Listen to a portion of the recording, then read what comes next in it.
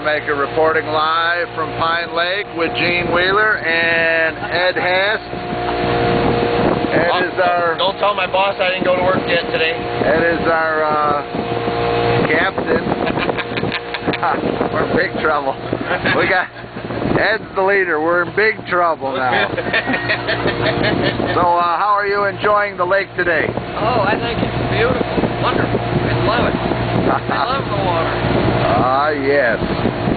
All right, well, we got our nine horse motor that's going full blast right now.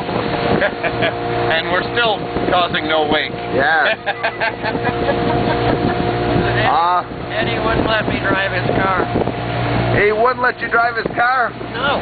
I got a key to it. I'll let you drive it. Okay. ah, he thinks he just had a stroke. He thought I had a key to his car.